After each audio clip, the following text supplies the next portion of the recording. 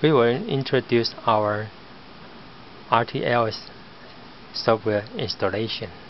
First, we have to deploy our tag and our reader. We'll open the existing project. You can load the, the map of your floor plan here and then drag the reader and uh, it will stand here.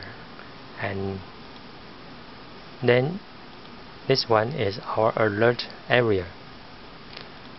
Let me just double click. The message will comes from the comport or the TCP IP from Wi-Fi.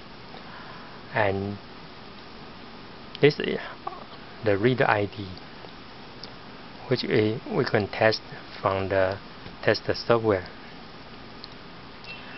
This is our alarm area. You can name in the area and uh, choose the reader ID and set the alarm range for the RSSI value. When you deploy the plan, then you save and exit.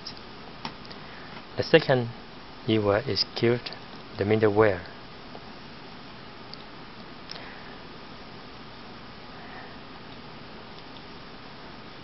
Then we load the deploying plan the file we have set up from the deploy file here and then the profile will load then save to database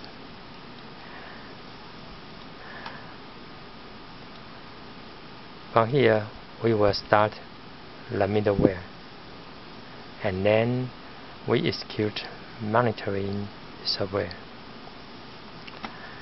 you, you will see the deploy plan from the monitoring window. For this one is the text setup. We have set up the tag which named the Mary. This tag we named the Larry. You can choose the picture and choose the alarm icon here.